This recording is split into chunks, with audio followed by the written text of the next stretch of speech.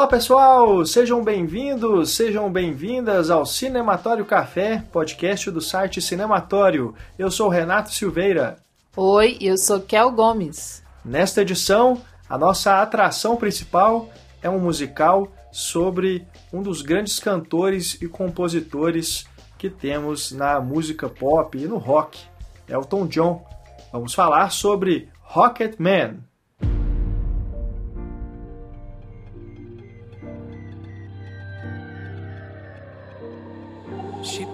My bags last night, pre-flight. Zero hour, 9 a.m. And I'm gonna be high as a kite by then. Rocketman, filme dirigido por Dexter Fletcher e estrelado por Taron Egerton. Esse, essa cinebiografia, né, que está em cartaz aí nos cinemas já quase um mês ou pouco mais que isso, e tem feito bastante sucesso, conquistou muitos elogios da crítica, fez uma boa bilheteria e está já aí projetada para o Oscar 2020, assim como aconteceu com o Bohemian Rhapsody, né, a cinebiografia do Fred Mercury da banda Queen, que fez muito sucesso no ano passado e acabou chegando ao Oscar, ganhando estatuetas e tudo mais. A gente discute nesse episódio, inclusive, se o Rocketman tem essa possibilidade né, de chegar aí no Oscar com essa é, pompa toda do Bohemian Rhapsody e quais os méritos, inclusive deméritos, em relação na relação de um filme com o outro. Para falar sobre o Rocketman, a gente trouxe mais uma vez a Ana Lúcia Andrade, professora de cinema da Escola de Belas Artes da UFMG, que é uma grande fã de musicais, né, Kel? Sim, e ela comentou, como sempre, maravilhosamente bem, né? Porque além de ser fã de musicais, ela deu para perceber que ela gostou muito do filme, assim, é. né? Como cinema, como esse espetáculo que ele é. Então foi um papo bem legal.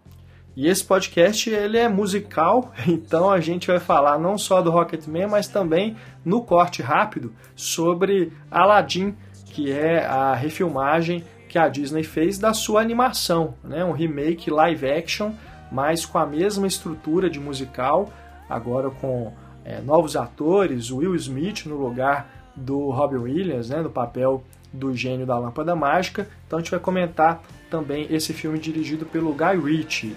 E ainda nesse programa temos o nosso recado cinéfilo no final do episódio, trazendo aí um, uma mensagem, um e-mail, um recado deixado por algum ouvinte do nosso podcast. Bom, antes da gente seguir aqui para o nosso bate-papo com a Ana sobre o Rocketman, alguns recadinhos rápidos para você que acompanha o Cinematório ou que está chegando aqui no nosso podcast é, em primeira viagem. A gente tem o nosso crowdfunding, né, a nossa campanha de financiamento coletivo, que é um mecanismo através do qual você pode ajudar o cinematório a se manter no ar, pagar as contas de servidor, de hospedagem dos nossos podcasts, é, manutenção do site, né, dos equipamentos que a gente usa para fazer os nossos programas, tanto aqui no Cinematório Café, também como no Em Foco, De Volta para o Sofá, que são os outros podcasts da casa, e ainda os nossos vídeos para o nosso canal no YouTube. Então, acesse o nosso projeto através do link que está aí na página do desse episódio ou então na home do site, é só clicar lá no banner e aí você pode conhecer a nossa campanha e assim pode é, colaborar com a gente com a quantia que você puder e você recebe recompensas por isso, né? A principal delas é a nossa newsletter semanal que é enviada todo fim de semana trazendo aí um resumo das notícias é, da semana no mundo do cinema, com dicas também de leituras, é, vídeos, outros podcasts sobre cinema. E temos também uma outra newsletter toda dedicada a recomendações e indicações de filmes que você pode ver no streaming, né? ou seja, Netflix, no Now, no Google Play, na Apple, qualquer serviço de streaming, tem a Amazon Prime agora que está crescendo também. Então todos esses serviços de streaming trazem muito conteúdo, às vezes a gente fica perdido com tantos lançamentos. A gente criou essa newsletter para poder jogar uma luz aí, indicar alguns filmes interessantes que estão entrando nesses serviços. Né? Então, acesse lá a nossa campanha de financiamento coletivo, conheça o projeto e a gente torce para que você se torne também um padrinho ou madrinha do Cinematório. E nas nossas redes sociais, as pessoas também podem ficar sabendo de todas as novidades do Cinematório, né, Kel? Sim, estamos em todas elas. Nós estamos no Instagram, no Facebook, no Twitter, também estamos no Spotify com os nossos dois perfis, né? Tanto o perfil de podcasts quanto o perfil de playlists, que você pode seguir a gente por lá. E também mandar suas mensagens, né? Através dos nossos canais. Com certeza. É através deles que a gente pega os, as mensagens que a gente lê aqui no final do podcast. Né? Então, se você quiser mandar um e-mail também, é só escrever para contato cinematório.com.br. Bom, vamos lá então, né, tomar esse café com a Ana para vocês saberem, né, o que, que ela achou do Rocketman e a gente comenta esse filme junto com ela e logo depois a gente fala do Aladdin. Cinematório Café hoje para discutir Rocketman, cinebiografia do Elton John, que está em cartaz nos cinemas ainda, né? Estreou algumas semanas, mas fez muito sucesso, atraindo muitos fãs e grande público aos cinemas. E para falar sobre esse filme, a gente está recebendo aqui uma grande fã do Elton John. Até Nikita. Ana Lúcia, tudo bom? Tudo jóia, gente. Prazer demais receber você aqui de mais uma vez, Também. né? Para esse café, para a gente falar de cinema. Pois é, esse filme é inevitável as comparações com o Bohemian Rhapsody, até pela proximidade, né? Uhum. Dois filmes sobre é, músicos de grande sucesso, é, dois músicos gays, né? Então essa questão também presente nos dois filmes. É, mesma e, época, mais ou menos. Na mesma época, né? E é, bom, com o sucesso todo que o Bohemian Rhapsody fez, né? Ganhou Oscar e tudo mais, é de se esperar que o, o Rocketman também tenha uma carreira aí que dure até o próximo Oscar, né? Senão seria muita injustiça, né? É. Porque até porque ele é bem melhor, já que é para comparar. Sim, sim. Ele é muito melhor em é. todos os níveis. Pois é, e eu fiquei pensando assim na saída do filme, é, considerando que o diretor, o Dexter Fletcher, ele completou o trabalho do Brian Singer, né? Ele foi contratado para poder finalizar, né, o que já o que estava faltando. Foi mais um trabalho de pós-produção, né, mas ele é, não foi acreditado, mas ele foi chamado para fazer isso. Acredita até por ele já estar fazendo esse filme, né? Então aproveitaram o cara que estava mexendo com uma produção parecida para poder completar. E eu fiquei pensando, cara, né, se o Bohemian Rhapsody não tivesse enfrentado tantos problemas, né, de bastidores, tivesse sido concluído é, com calma, né, poderia ter sido um filme tão melhor, né? Embora assim sejam estruturas diferentes, porque aqui foi feito um musical de fato, né? Não é só um drama musical sobre um músico que tem ali os shows, as gravações de estúdio, né? Aqui fizeram um filme musical mesmo. Né? É como há muito tempo a gente não via é. um bom musical assim, né? É. E com um roteiro tão engendrado na tama, né? Eu adorei o roteiro desse. Eu acho difícil que o outro melhorasse com aquele roteiro. o roteiro é péssimo. É, porque ele, é, ele não te diz quem é o Fred Mercury, hum. né? É. O ator, por isso que eu até comentei na época, que o ator ele estava tão bom, apesar da, da prótese, ele estava tão bom porque ele me dava a humanidade do Fred Mercury, que não está no roteiro.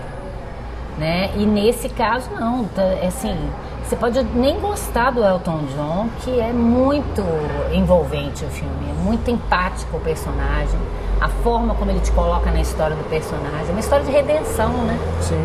Então qualquer um pode se identificar. Uhum.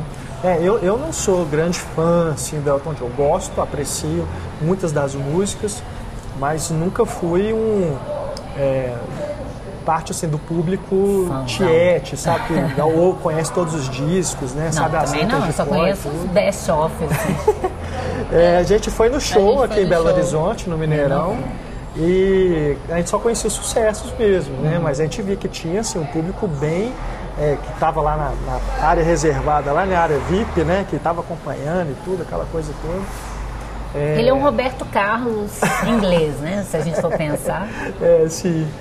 Mas depois do filme eu, eu fui atrás, eu ouvia os discos da época, né, os primeiros álbuns dele e, e passei a gostar mais. Acho que isso, só isso já diz assim que o filme ele cumpre essa função, né, de te apresentar a história desse cara é, para um público que não conhece, né, não sabe da trajetória dele e você se interessar, né, para conhecer mais a música e tudo. Sim. E sem falar que a própria trilha sonora do, do filme, né, com as músicas que foram gravadas para ele, com o ator, né, o Taron Egerton cantando, os outros também, a trilha ficou muito boa, né? Os novos arranjos ali, como que eles montaram tudo. Então o disco é gostoso de ouvir também por isso, né? O, o álbum do, do, do filme. filme. Ah, tá. Ele é, é, é, bom de ouvir, né? Não é só aquela trilha de, de e acompanhamento. E é o próprio ator cantando? É, é uhum. que já é também uma baita diferença pro muito. Boêmio, faz né? muita diferença. É. Mas assim, tem muitas diferenças, mas eu, a gente vê muitos paralelos também, né? Até pela, pela, pela escolha de como contar é, a partir dessa, dessa, desse conflito com família, essa questão da sexualidade, é, tem também essa coisa do show business, o quanto que é tóxico. Então, assim, são filmes diferentes e um muito melhor que o outro, mas também muito similar, assim, na maneira como uhum. vai lidar com esse personagem, né? Essa, essa questão de, do que, que ele enfrenta, né? Do que, do que, que é o show business para ele. Só que um faz muito bem. Tem uma de dose forma, de profundidade é, um, e o outro é raso. Exatamente, e o é. outro é raso. E, e até um pouco é, incoerente com o personagem que está lidando, né? Hum. Porque assim. Nada, nada ousado. É super careta. É careta e vai contra o que o próprio Fred Mercury foi. Coisa e fica que aqui parecendo, não acontece. Fica parecendo uma coisa de um cara promíscuo que pegou AIDS. É, é exato. Né? O outro uma não, punição, o outro né? é, um, é toda a questão gay que permeia a vida dele inteira, até o, do início ao fim. Até a estrutura do filme, de começar com ele como um demônio drag. Maravilhoso. Né? Eu adoro. O filme começou, eu já gostei. Do é. letreiro brilhante, ele chega entrando com aquela roupa aquela construção estrutural dramática de dele na terapia, que verdade ou não não interessa, e ele vai se despojando, vai se despindo ali, né? Até ficar nu praticamente só com o roupão. Eu acho até que. É. Eu até brinquei, falei, gente, a cena, no roteiro ele devia estar nu e os produtores botaram ele com o roupão. Porque era mais Bem lógico. Sim, sim. Né? Essa ideia dele ir virando até o ponto de encontrar a si mesmo. Acho isso muito bom. Já que não vai dar para resolver essas questões familiares tão facilmente, igual no do Fred Merck, tenta uma saída fácil, do, uma reaproximação com o pai. Impossível naquele contexto tão rápido. Parece coisa de novela, não tem um encontro, um diálogo e resolveu. Não tem como resolver isso, então ele cria uma situação simbólica, poética dele com a, a criança que não recebeu um abraço, uhum. que eu acho aquilo muito bonito. É, assim. é e é, bem da terapia mesmo, isso. né? Você retornar à você infância para você investigar, né? A sua Tudo criança que, interior. É, é, esses traumas que você foi acumulando durante é. a vida, né? E esse primeiro número com ele garoto ali, já já te conquista, já né? Já te tipo, pega, ah, já te leva. Ó, se você não gosta do Elton John, se você não gostou desse cara fantasiado é. de demônio, agora vem cá, vem comigo que você vai ver quem é esse cara. Muito, muito e, inteligente. É curioso porque o Bohemian Rhapsody ele começa com o Fred Mercury indo pro Live Aid, né? Ele uhum. saindo dos bastidores e indo para lá. E esse começa dando a impressão que ele está voltando, um é, voltando de um show, né? É. é curioso pensar, né? Nesse, uhum. Como que esses, essas, essas direções contrárias, né? Uhum. É. De um filme para o outro. E que são dois filmes com propostas diferentes no seguinte sentido também é, enquanto que o Bohemian Rhapsody ele vai tentar te passar aquela história como o, o fato, como a história real, quase que ser uma, um documentário sobre a vida do Mexendo Mercury, na cronologia. Com esse problemão, né, de trocar demais. a ordem das coisas e uhum. só pela licença dramática, né, de construir aquela história. Aqui, só de você ter essa é, desculpa, né, da terapia e da fantasia que envolve o musical, mesmo que ele troque ali a ordem, isso não, não tem problema nenhum, não importa. Tanto é que as músicas são apresentadas em momentos distintos sim, da carreira, sim. porque não interessa, interessa a letra, que nem é dele. Porque você pensa assim, ah, é ele contando a própria história na música. Não, mas é, é isso é muito legal, né? Porque ele vai te contar paralelamente uma história de amizade dele com o compositor. É. De uma parceria de alguém que conhece ele tão bem que escreveu sobre ele. está comprovado isso. É. E a música se torna, assim, independente da letra, como eles trabalham também com um background de trilha sonora sem a letra, misturando né, trechos de uma música com outra, você percebe o tanto que aquela música também está impregnada dele. Né? Independente do significado da letra, se foi ele que fez ou não. E isso te, te conquista, porque e ele é muito sábio, porque ele te apresenta ele como um, um menino com um ouvido absoluto, com um dom magistral para a música. Isso também te conquista, né? Porque você gostando ou não dele, você vai começar a prestar atenção nisso, né? Olha só, e uma coisa do contexto da época também, de você pensar nos anos 70, aquele tipo de música, né, com aquele tipo de astro, né? E, e toda a questão gay problematizada de uma forma que não, não vai aprofundar demais, porque ele quer um público maior, né? Mas está muito mais bem colocado, né? Eu acho que é, para quem não é gay é tão emocionante. Eu fiquei imaginando para os gays assistirem aquele filme, como deve ser é. bacana, né? Sim, sim. Essa ideia de, de um personagem tão carismático e a questão gay não ser exatamente um problema, né? Assim, socialmente sim, né? Por causa do preconceito. Mas isso, como é trabalhado no crescimento dele como artista, né? Meio que paralelo e, e ao mesmo tempo concêntrico. É. E, e eu acho que essa coisa, as pessoas têm mania de, de, de reclamar de, de histórias de amizade como se também fosse tudo é, um amor enrustido. Uhum. Mas eu acho muito massa quando trabalha a ideia de uma amizade verdadeira mesmo entre pessoas do mesmo sexo. É. Né, que o filme aborda tão bem. Né? É. é maravilhoso isso, né? De ele ficar, ter esse receio de que algo vai acontecer, mas aí no mesmo momento você vê que não a gente é amigo e pronto, assim. Ao mesmo tempo tem um importa. amor ali, é, não deixa de ter. Sim. E aí eu também, eu também acho problema, porque parece que a falta de representatividade de casais que são gays, que são lésbicas, que são LGBT, acaba é, criando essa necessidade das pessoas é, colocarem que é um relacionamento investido, sabe? É, porque falta, é, porque falta. Uhum. Mas eu acho muito legal que a gente veja esse tipo de relacionamento também, a amizade pura. É um homem, é um hétero e que não se importa de ser amigo de um gay e de um gay que super se assume, né? Então, assim. E que existe um amor verdadeiro é, sem necessariamente desejo. Exatamente. E uma parceria criativa que, assim, é das mais produtivas, mais é. incríveis, é. né? Então é, é, é, muito bom a gente tocar nesse ponto mesmo. E ele mostra essa é. construção dessa parceria, porque no Queen falam muito isso, ah, você vê a banda. Não, você não vê a banda criando nada, você nem mal vê os outros integrantes, né? Você não tem uma noção direito, parece que é o Fred Mercury e a banda, Sim. não tem uma conexão.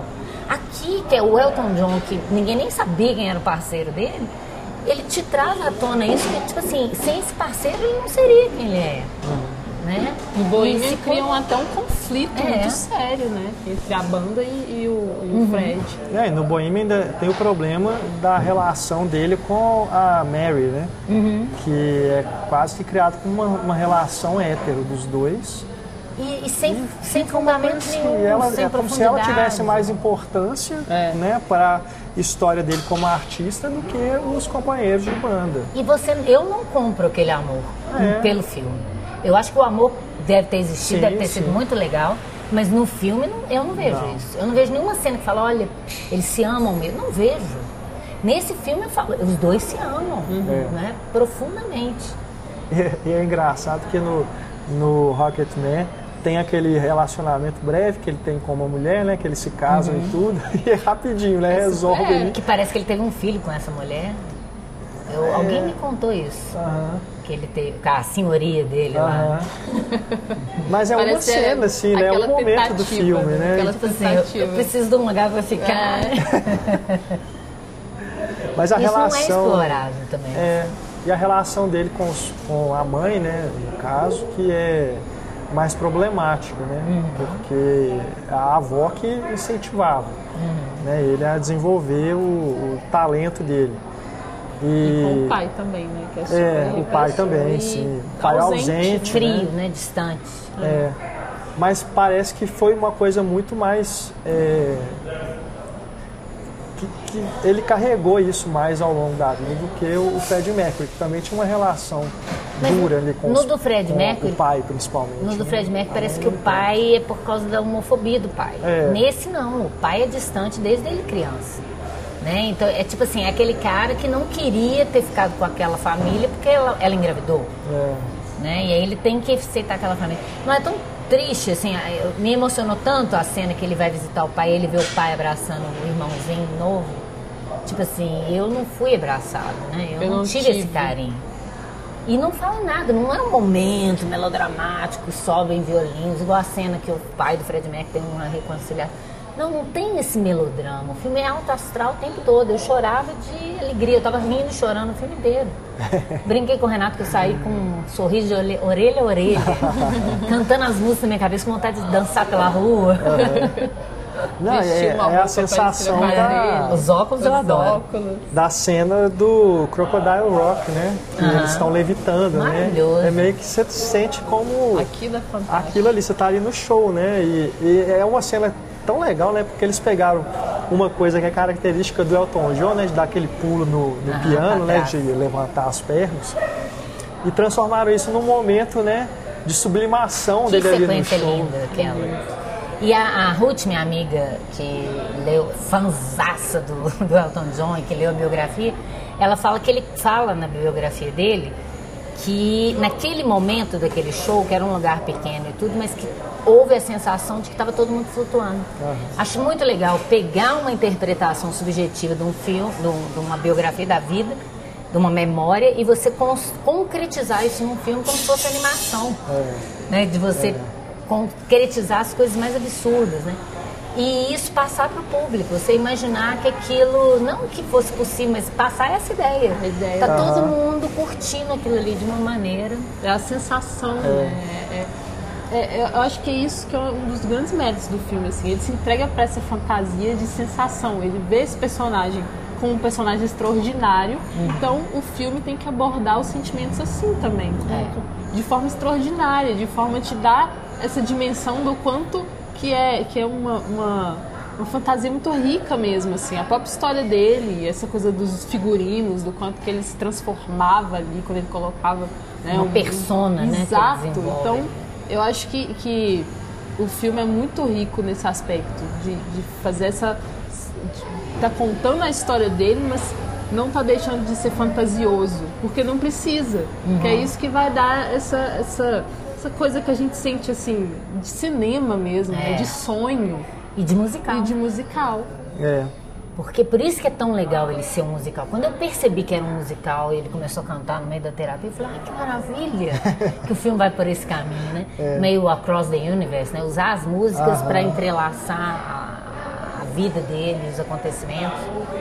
E de uma forma orgânica, não é assim, ah, vou pôr uma música aqui, vamos construir. Porque tem alguns filmes que fazem isso, que tem a impressão de pegar ali, tá, tem que criar uma cena para caber essa música. Ali não, parece que a coisa, parece um roteiro que foi saindo assim fácil, uhum. aquilo é de uma elaboração impressionante. É. Eu saí do filme pensando nisso, que roteiro incrível.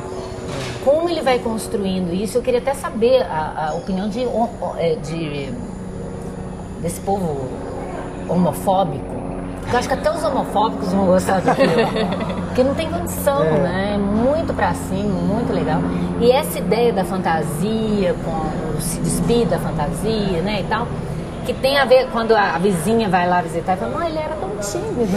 você fica imaginando, gente, aquele menininho que você tá vendo, porque você conhece o Elton John de show, de clipe, né? Assim, quem é muito fã deve ter visto entrevista, lido biografia, igual a Ruth, mas a maioria das pessoas tem uma imagem dele.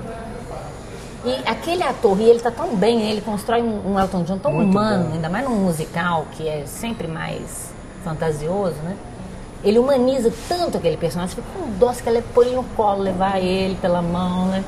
Você quer abraçar ele em vários momentos do filme.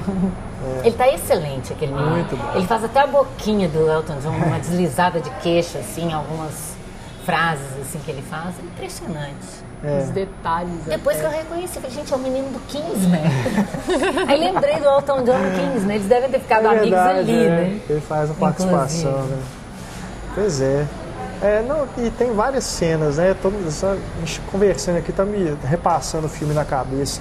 tem aquele número do, da música Saturday, que é a hora que ele tá, acho que é a primeira apresentação, né, na hora que ele tá lá no, naquele bar, que aí ele sai, vai na rua, né, e volta, quase como se fosse um plano sequência, né? Um plano contínuo. Aliás, que câmera daquele filme. Muito. Parece o tempo inteiro um plano sequência te levando para dentro é. das, das coisas que estão acontecendo.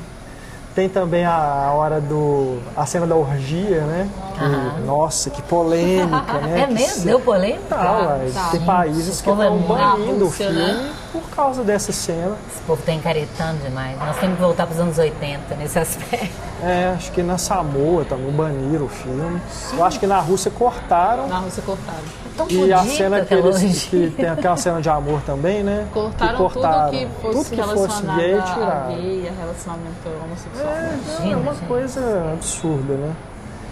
E, e, é um filme fazendo um bom. serviço à causa e vem o povo fazer um desserviço. Pois é. Né? E a cena do Your Song também, né? Que é Lindo. muito fluida, né? Na também, casa ele compondo, Isso. né? Isso eu li o, o Elton John ah, falando numa entrevista que foi exatamente daquele jeito que ele compôs. Assim. No Your Song é na festa, né? Que ele ele com a menina. Não, é na casa, é. Casa? É, que ele, ele meio que tem uma. O desentendimento, ah, né? Eu tô confundindo com, com Tiny Dance. Ah. Misturei. Acho que ele tem meio um desentendimento com o, o, o amigo dele, né? E aí ele começa a escrever a música pro amigo, né? E aí eu, eu li o Tom John falando que ele compôs daquela. Foi daquele jeito mesmo. Não assim, duvido, porque surgiu. flui tão bem no filme, né? Essa coisa de. A letra não é dele, mas quando ele começa a compor e colocar aquela letra dentro da música, porque não sei se alguém que compõe o que, que acha, mas eu acho a coisa mais difícil do mundo. É. Porque às vezes você tem uma melodia, você vai, pega um texto e tenta encaixar. Agora você já tem um texto pronto e, te, e, criar uma melodia do nada e ficar tão boa, né? Tão é. pop, porque fazer uma música popular, o povo pode malhar o que for, mas é a coisa mais difícil do mundo. Sim. Uma música popular sem ser essas grudentas, nojentas de rádio, um refrãozinho fácil e tal. Que, que seja rica music, melodicamente, né? Uhum. E, e, muito legal porque a letra vira dele. A, quando a música é incorporada à letra, vira uma coisa só. Por isso que eu estou falando dessa simbiose. Eles sacaram que não dá para separar o, o, compositor da letra do, da canção. Que é isso que torna o Elton John, né? Isso é muito massa. É. E aí você vê claramente o compositor, o Bernie, ele e a persona e a do persona. Elton John, que vai juntar esses dois. Isso é muito massa. Isso é lindo. Isso é lindo. Elton é John. captar a essência da história e construir da melhor maneira possível. Exato. Que no do, do Bohemian a gente vê que não captaram essência nenhuma, nem de personagem, nem de história Fica de banda. tentando se ater a fatos que não estão na é. cronologia, que não são aprofundados. É vendo de longe, assim. É, é não, e muita gente Você foi não participa. ver o filme e gosta do filme por causa das músicas do Queen. Porque é, gosta exato. do Queen. É. é. isso que eu tô falando. Muita gente, ah, ver mil vezes, eu amo o Queen. Peraí, então, compra o disco e fica ouvindo em casa. Ver um, ver um show também, é, dá pra é. ver shows, é. sabe? Eu cheguei em casa e me deu vontade de ver os shows do Rock in Rio. Porque eu prefiro sim, o Fred Mercury do que aquele ator. Ele. Isso, eu fiquei vendo e falando assim, gente, adoro o Elton John, mas eu adorei esse personagem. Que é maior que o próprio Elton John, é uma coisa do cinema mesmo. Do cinema. É muito legal. E a gente pensar também, né? Quanto que o Elton John está presente na, no cinema, né? As ah. músicas dele. O Tiny Dance é a música do Quase Famoso. É, virou. Muita né? gente conhece pelo filme, né? É. É. Acaba virando intertextual. E o Song ficou Sim. famoso com o Billy Paul. Rouge também, né? Ficou famoso com o Billy Paul, né? Mas assim, é muito melhor a versão do Elton John, eu acho. Uhum. Né? Assim é, são músicas assim que você pode estar onde estiver, que toca, ela te faz bem. É uma música, eu falo que é uma música sem contraindicação, essas antigas, né? Não estou falando dessas para Lady Di, para Nikita, essas coisas não. Tem a do Rei Leão também. É, que é até legal sim, também. Sim, é bonito. Mas não, eu não gosto de sentar e ouvir. Né? Mas Yellow Brick Road eu sempre adorei. Nossa, essa aí. Skyline, Skylight Pigeon, aquela que, que ele fez pro Lennon. Empty Garden, uhum. quando Helena morreu, que eu até pensei que ia ter, porque eles brincam com o nome, né? É. Que ele escolheu o John por causa do Lennon, eu pensei que ia ter o momento da morte do Lennon. Uhum. E não teve, porque também ia sair do, do é. foco, né? É. Mas tem músicas assim que me arrepiam até hoje. Eu cansei de ouvir no rádio, mas eu ainda gosto. Tem E, e, e, isso no filme, você fica, você fica imaginando a hora que a música que você gosta vai tocar, ela supera a sua expectativa, porque tem uma construção cinematográfica. Então, a crescida da, da, da, do movimento de câmera, da forma como ela está inserida dentro da estrutura narrativa, né? As cores, o figurino, aquele balé maluco da montagem. Você está falando da câmera, eu fiquei hum. muito fascinado com aquela câmera. A sequência do Rocketman mesmo. Sim, é. Nossa, aquela primeira sequência da rua eu já adorei. Ele foi lá para fora. Ele arrumou umas crianças também incríveis para fazer, um menininho pequeno. Aquela Chega no final, que você vê ele com ele pequeno com o ator, você fala, gente, parece demais, né? Assim, e um menino bom.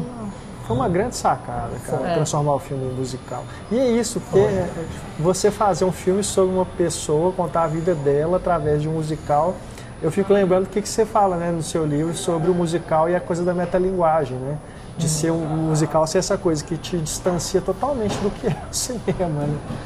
Da, aí, dessa naturalidade. É, né? e você, você tem nesse filme isso, você, é, é, a vida do cara transformada numa fantasia e mesmo assim, Incrível. cara, né? Incrível e emocionante. Não é, não é, não distorce nada, né? Uhum. E ele gostou, né? Ele, ah, ele, ele claro, tá ele participando de tudo, é. né?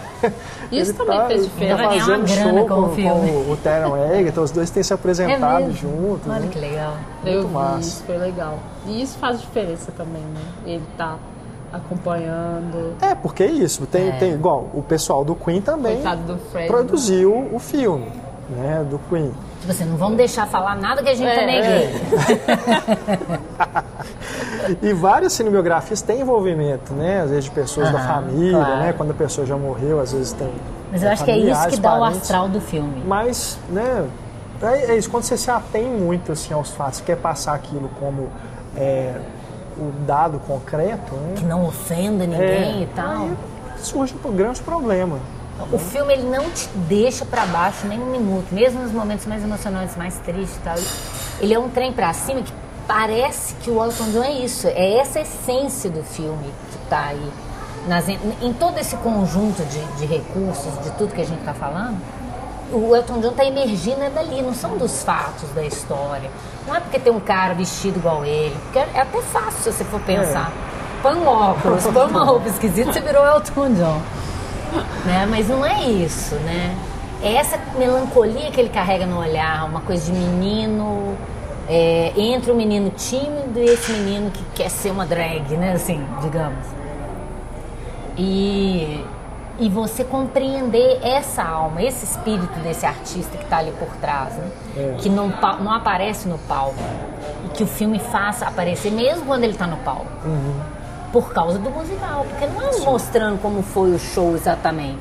Por mais que ele fale que teve a sensação naquele show, que era um lugar pequeno, que as pessoas flutuassem, não é reproduzir, ah, então as pessoas flutuam. Não, não é isso.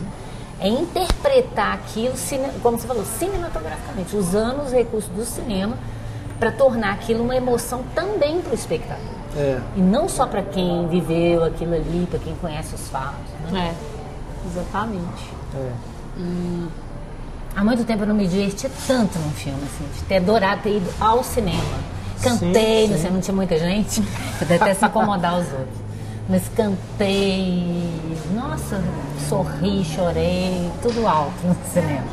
E é bonito ter essa, essa coisa de, do enfrentamento da, da dor pessoal através da arte. Né? É quanto que ele se liberta através da arte, assim. E isso é que é universal. Exato. E a gente, a gente se identifica com isso, assim. A gente fica até pensando em que talvez é, seja o caminho para as nossas próprias dores, sabe? Uhum. Se libertar através da arte também, de alguma é. forma. Criar. Criar. É. E, Até porque, é, assim, é, é essa, essa questão universal também está ligada à própria trajetória dessas estrelas né, Por que, que ela é tão mundial, né? Por é. que, não é um carinho que isso é só na Inglaterra? É. E todos é. têm essa coisa do, do, do, de chegar à ascensão e depois ter a queda. Uhum. Do envolvimento com é, drogas, né? Disso ali, de ir para um excesso, né? E depois ter que se reconectar. Uhum. Todos eles. Pegar a história do Jim Morrison, do E tem até uma do Queen, né? Do que a mãe fala tudo veio muito fácil para é, você. Né? Até a droga. Né? Você nem vê ele entrando nada. Quando você vê ele, ele, ele já começou assim, né? Já começa, né? E não é moralista em relação à droga, é a ideia de você estar num vazio, que a droga precisa te sustentar. Então ele tem tudo, mas ainda tem uma falta ali que e tudo está muito bem construído no filme a ponto de ser esse encontro com essa criança que queria amor, que ele mesmo percebe agora, né?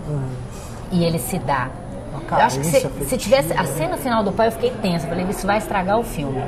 Eles vão querer fazer igual no Fred Mercury, uma ceninha pra resolver todo um problema de uma vida com o pai, que não dá pra resolver assim. É. E com a mãe também. Com a mãe é mais complexo ainda do que com o pai, eu acho. Porque o pai, né, ainda mais naquela época, esses homens machistas, era muito difícil essa relação, né? Até hoje, mas aquela mãe estranha, né? E achei muito bom ser ela, a- aquela menina. A dela. Bryce, Bryce Dallas Howard. Ela é ótima. Eu gosto. A, a avó também, a, a mãe da, da Emma Thompson, ela tá muito bem também. Acho ótimo aquele momento, todo mundo canta um pedacinho da música. Que linda aquela Cada um tá mostrando uma dificuldade de vida. Que ali, maravilhoso. Né? Quer dizer, a vida dele, que é uma letra que nem foi ele que escreveu, quando ele reparte a letra na boca daquelas pessoas, ele te mostra como tá tudo a ver com a arte dele. A família, os amigos, o entorno. Isso vai transparecer na arte dele. Isso é muito maravilhoso. Assim. Eu tô até babando de ovo demais, porque eu saí tão assim, falei, eu quero ver de novo, quero ver de novo. pra ver se vou sentir de novo. E é uma, a filha de uma amiga minha, ou filho, é, a Kira, ela falou assim, mãe, não é possível isso, eu não tô apaixonada pelo ator, eu tô apaixonada por um filme. Me apaixonei pelo filme como um todo, assim. Não é o Elton John, não são as músicas, é, é o filme.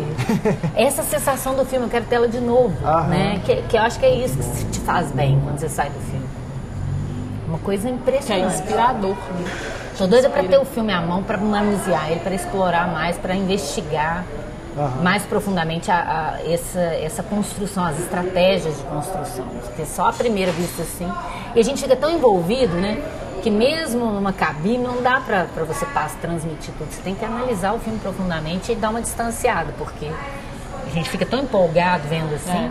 Eu não conseguia falar, eu tenho que analisar porque a gente vai gravar um podcast. Eu também não. Eu não conseguia. Geralmente são os filmes que, por exemplo, geralmente a gente anota enquanto tá vendo. Esses filmes são os que você nem, nem anota. É. Você fica tão imerso ali no que, que tá te apresentando, tão envolvido, encantado com as imagens, que você não consegue nem anotar. Aí É, depois você eu pensa. até anotei aqui, eu não tô "Poxa, conseguindo ler nada. Então, exatamente, porque Então vai você tá emoção, envolvido, é. você tá envolvido. É Tô mais aqui emocional tentando que entender o que eu escrevi, mas tá difícil. Desisto. Eu nem escrevi, eu falei, eu não vou, eu não vou falar nada, eu nem comentei com vocês antes, eu falei, eu quero Aham. que saia minha, minha, minha emoção na hora, assim, de tanto que eu curti. Muito bom, é, muito bom. Bom, é, e se realmente se tornar aí uma, um filão, né, que vierem mais filmes sobre músicos, não duvido que isso aconteça, né, porque Hollywood é assim, Enquanto estiver dando Né? dinheiro, eles vão fazer. mas que pelo menos venham filmes como esse, né, que não sejam obviedades, né, de Sim. simplesmente pegar E verbetes de né? enciclopédia e transformar É um filme. filme comercial, mas que tem a sua ousadia, né? É, Mas a, a grande isso. sacada é essa, né? Não é assim, não existe uma fórmula para fazer um musical, nem uma fórmula para fazer um filme de biografia de musical. Então, a gente está falando de filmes diferentes, né? A gente está comparando, que é inevitável. Mas, claro, um tem uma proposta, o outro tem outra. Então, é difícil que é, Hollywood pensando muito mais no- na grana do que no sentido da arte, que ela não que ela tem que pensar nisso. A construção ela tem que seguir a essência do artista, que é o que o Bohemian Rhapsody não fez. O problema não é que ele não é um musical, ele, ele não me diz quem é o Fred Mercury. Ele não me dá essa essência que tem que ter a ver com o filme e a música que esse filme tem. Por isso que eu acho que é difícil, porque se todo mundo imitar ele agora, não É. dá para ser o mesmo filme com cada artista. Esse filme te dá, te dá, no conjunto das estratégias, quem é o Elton John. É. É. Eu, ah, Então- é, pensando aqui assim nos que eu gosto mais, é, junto com Rocketman, em termos assim de, de forma, né, de como que trabalha uma cinebiografia Uhum. que foge dessa coisa óbvia, é o Rocketman, o Eu Não Estou Lá, sobre o Bob Dylan, Uhum, que eu também que é amo. muito legal. É né? outro filme que te dá essa essência. É. Ele é múltipla, eles, são- ele, eles são múltiplos, né? Sim. Bob Dylan é múltiplo. E o Camaleão. The Doors, pegaram vários. do Oliver Stone, É, Eu né? gosto também. Aham. Que tem gente que não gosta desse filme, não sei Nossa, eu adoro também. se- Não entendi. É porque mesmo, ele tem que muita interferência. Acho que tem aquelas coisas, aquelas críticas que o diretor tem mão pesada. Que O povo tem preguiça isso. Stone também, né? É, tem isso também. Mão pesada, mas nossa, eu acho aquele filme muito Pois bom. é, Muito mas, bom. mas eu gosto demais também. Também. Porque é E ele isso. tem esse Até clima nessa, do- nessa da questão paranoia do, do nome. da É. paranoia, né? Essa questão do da, Eu nunca mais revi, tentei que rever ele. da viagem, né? Lisérgica ali mesmo que ele tá entrando, porque ele já tava E os seus Doidaço, conflitos né? interiores e essa coisa xamânica, tá tudo ali na, na forma. E é uma Sim. pessoa muito melancólica, então tinha que ter um peso mesmo. Não Tem podia um que eu ser gosto leve. muito ah, também. falar do Jim Morrison de forma leve. que não é uma biografia oficial, mas que tem a ver com a Jane Joplin, que é a Rosa. Você viu? Do Martin Hitt, se não me engano. Não, Com não. a Bette Midler, dos anos 70. Eu acho muito bonito também o filme. Em nenhum momento fala que é a Jane Joplin, acho que é uma questão de direito, né, de, de concessão. Mas ele te dá esse peso dessa mulher também, Ah, com essa dor, com essa voz. Eu acho muito legal o filme. Tem o do Gus Van Sant sobre o Kurt Cobain, que não é sobre o Kurt Cobain, né? Que é o Últimos Dias. Que Não é, vejo. você vê o. Michael Pitt ali, é o Kurt Cobain, né? Você identifica todos os membros do Nirvana ali, até a Courtney Love também. Só que os nomes são de outras pessoas, né? Ah. E não tem as É uma- músicas é do Nirvana nem nada, não mas desde o início, quando surgiram as primeiras imagens, estava muito claro que era sobre o Kurt Cobain. E tem muito disso também, de você sentir que é realmente a história dele, dessa coisa da essência. Né? É, Então, superar esse filme vai ter que ser um trem. é, Vai ser. É isso que eu tô falando, tem que ser assim: você tem que pegar uma personalidade de uma figura e tentar transcrever essa personalidade, essa personalidade com a linguagem do cinema e proporcional a ela. Aí vai ter esse diferencial. né? Então não é. existe fórmula para isso. Você tem que sacar quem é a pessoa que você está tratando. Que é o que o filme do Queen não fez. Porque ele não te diz quem é. Esse que é o problema aqui no Brasil, né? Todos esses filmes sobre músicos brasileiros, eles entram nessa do Queen, né? É. Você pega o do Cazuza, Episódios. do Tim Maia, todos da Elis Regina, todos eles são O do que Cazuza, eu né? ainda gosto um pouquinho, porque ele te dá um painel desses anos 80, essa, essa represa que foi a censura, a ditadura, É, e explodir nesse desbunde dos anos 80 que vai gerar AIDS e toda, toda a questão. Ele passa por isso de uma forma bem, bem interessante no filme, a ponto que eu preferi que o filme abordasse mais isso do que a vida do Cazuza, Aham. pra te falar a verdade. Mas eu não acho ruim o filme, não. Não, Dos também não. brasileiros talvez seja o melhor desses aí que você É. falou. Ele ainda tem uma coisa até da linguagem mesmo, né? Que ele, é co-dirigido pelo Walter Carvalho e a Sandra Werner. Ele ainda, então ainda tem uma coisa assim que é interessante do trabalho de câmera, né? É, mas tem umas, umas coisas também ali que, que É, incomodam, por exemplo. episódicas que são chatas. É, episódio que, por exemplo, quando mistura o. Eles pegam a cena do Rock in Rio, de arquivo, Uhum. é uma imagem horrível que não foi restaurada, de televisão, E e, junta com a do show que eles reencenaram. Aham. Fica um negócio estranho, né? direito, Mas. E ele tá incrível também, o É, ator, o né? Daniel Eu acho que isso é fundamental também. A figura que encarna, ela tem que te passar alguma coisa. É, as escolhas aqui no Brasil eu até gosto. O, o Babu Santana para fazer o Tim Maia, ficou massa. A Andréa Horta para fazer a Elis Regina. Mas o, problema é, é como constroem o roteiro mesmo, né? Que fica essa coisa episódica. É. Pensado Pronta até- pra Parece que é televisão. pensado para televisão. É, É, E a pessoa tem que pensar nisso. Qual é a essência dessa música, desse, dessa figura? E tentar traduzir isso na linguagem, né? Porque isso é a diferença de um bom roteiro, de um bom realizador, né? Quando a figura pensa nisso. É porque você não está só contando uma história no cinema, né? você está passando tantas sensações. Você não pode ser ateia à história. Se ateia à história, vira essa coisa que a gente está falando, de ficar uma coisa muito. é, a- os dados você vai acompanhando sem participar, né? Que vocês falaram do, do, do É, distanciamento, assim. é, porque você fica ali, você não participa, você fica vendo o que, que é agora. Agora é esse, agora é isso que aconteceu, agora é isso. Você não vê causa e consequência. Você não vê as coisas indo num crescendo dramático. Né? Não tem. E esse filme eu tava pensando, cada sequência ela tem princípio, meio e fim de uma forma. Parece um. Sabe, um, um, um negócio que vai ligando assim. Sabe, uma. Então tá tudo ligado, alto e baixo, alto e baixo, mas tá costurado. Não é uma sequência legal, agora vem outra. Não, elas são todas geniais dentro da, da estrutura narrativa. Eu fiquei pensando no filme como um todo. Por mais que eu vi, lembrasse uma sequência ou outra, eu falei, gente, eu pensava, cada vez que eu lembrava de uma sequência, o que aconteceu antes, o que aconteceu depois. É impressionante a, a organicidade dessa estrutura narrativa. Então eu falei, eu tenho até que ver alguém que não gosta do Elton John, que vai assistir, que não gosta de musical, para ver se a pessoa vai ter essa sensação ou se é uma coisa. Não acho que eu também sou fã e, não, e me ceguei e adorei o filme, igual muita gente que é fã do Fred Mercury adorou o filme sem saber por quê. Por causa das músicas. Eu falo, quando eu vou falar, mas você não gostou tanto, por quê? Aí eu vou falar, não, nem presta atenção nisso que você tá falando. tá, eu que sou chata, isso de cinema, mas... É. E assim, é, muita gente também ficou incomodado por. É, incomoda mesmo aquela prótese dentária, né? Que você fica parecendo que vai cuspir aquele trem em qualquer momento. Que ele está segurando para não, é, não, soltar aquilo da boca. E ainda assim ele consegue fazer direito, né? Que é um trem dificílimo Sim. de ser feito.